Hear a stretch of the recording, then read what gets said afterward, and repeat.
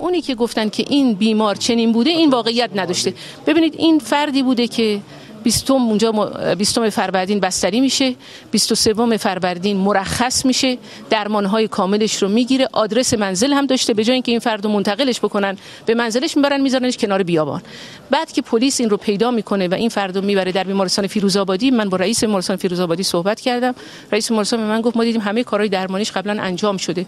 و این رو سوار آژانس بیمارستان کردیم فرستادیمش منزل. یعنی فردی بوده که آدرس داشته هزینه درمانش رایگان شده بوده خدمات درمانش رو کامل گرفته بوده حتما در این قضیه که فردی رو با لباس بیمارستان با رادیولوژی بیمارستان با سربرگ پزشک بیمارستان که عنوان بیمارستان درش هست بردن عکس و فیلم گرفتن به نظر ما پشت این قضیه انگیزه است. انگیزش هم به نظر من کلیتش این هست که می‌خوان آبرو و حیثیت